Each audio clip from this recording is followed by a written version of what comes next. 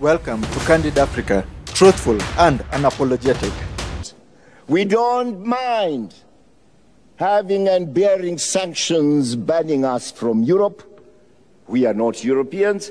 We have not asked for any inch of Europe, or any square inch of that territory.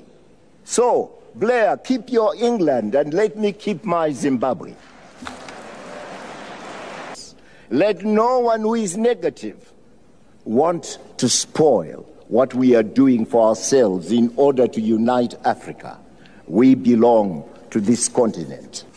The betrayal of the collective agenda we set ourselves at Rio is a compelling manifestation of bad global governance, lack of real political will by the North, and a total absence of a just rule of law in international affairs. By 10 years after Rio, the poor remain very much with us, poorer and far more exposed and vulnerable than ever before.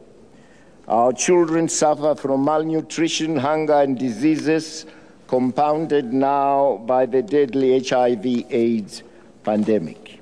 Mr. Chairman, having said that, may I say, people must always come first in any process of sustainable development. And let our Africans come first in the development of Africa, not as puppets, not as beggars, but as a sovereign people.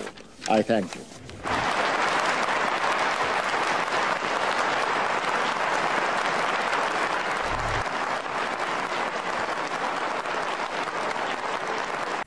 Did you like or hate what you heard? Let us know in the comments below.